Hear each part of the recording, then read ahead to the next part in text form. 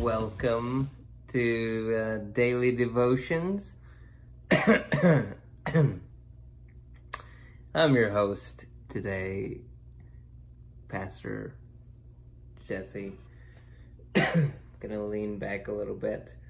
Um, I, if you can't tell, I'm coughing a lot, but I'm I'm getting a lot better. Um, today was the first day I was kind of out and about, so that felt really good. Today, this morning, we're going to be in James chapter 3. I'm going to keep this super brief because otherwise you're going to be listening to me cough the entire time. So hopefully you have your Bible with you. Uh, you can open it up. um, there's really like only one thing that I want to point out. Um, and that's this verse 14. But if you have any bitter envy and selfish ambition in your heart, don't boast and deny the truth. If you have bitter envy or selfish ambition in your heart, do not boast and deny the truth. So the question then, he he's actually in the midst, earlier he, he was in the midst of, of talking about the importance of taming the tongue. He starts using this analogy kind of later about, you know, can a fig tree produce an olive? Well, no, it can't.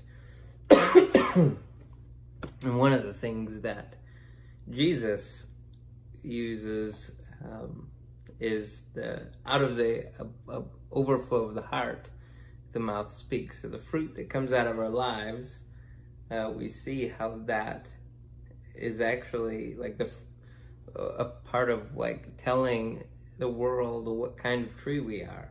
And so um, when you are a selfish tree, uh, the fruit that comes out is going to be selfish.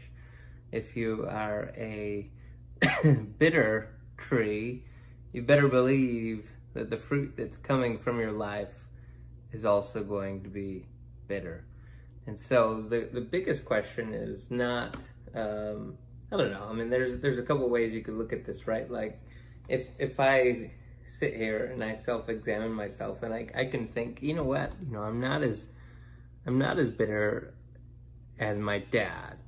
Um, I'm in a way, I'm I'm way more chill than that, or like maybe I'm not as selfish as my brother. And so therefore, I have nothing to worry about. This isn't talking about me at all.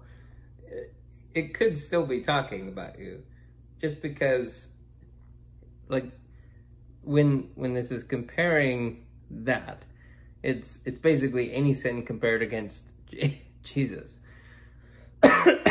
so Jesus isn't going to like stand you up you're this little guy. He's not going to stand you up and be like, well, well, you know, you're not as tall as this lady, even though she's clearly way taller than you. Um, you're you're too different. Like he's not doing that. Like he's not comparing, you know, each one of these little people to to each other like this way he he always compares it to Jesus. Um, we'll pretend this is baby Jesus. So like, like in the end, if our lives don't look like Jesus, like there's something we need to repent of. And so, the question that we have to we be willing to weigh is, Lord, is there selfish ambition in my heart? Lord, is there any envy or bitterness or bitter envy in my heart? If so, we repent of those things now in Jesus' name and we hand those over to Jesus. And I want to close with this thought. But wisdom from above is first pure, then peace loving, gentle, compliant, full of mercy and good fruits, unwavering, without pretense. The fruit of righteousness is sown in peace by those who cultivate peace. Let's be the kind of people that are willing to take these little nuggets of peace and pretend it's a nugget of peace. And we're gonna we're gonna sow it into the ground. We're gonna pray that the Lord is actually gonna bring us a, a, a harvest of peace because we're sowing peace. We're not sowing discord. We're not fighting with people. We're not slandering or calling names. We're you know we're laying down our pride. We're laying down our our ambitions.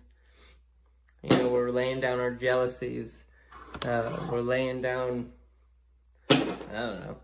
Whatever. What do you need to lay down? We're gonna bury it. we're gonna cover it up. We're gonna see a harvest of peace. All right. This that's. I think that's about all I can do today. Uh, thank you so much for joining today's daily devotions. If you haven't done so already, please go ahead and hit the subscribe button. That would help us as we are trying to grow as many mature disciples as we can, people who love the Lord by loving the Word of God on a daily basis. All right. Oh yeah, click the bell. Uh, and then there's, I don't know, other things you can do. Watch old videos where I'm not almost dead. Have a good day.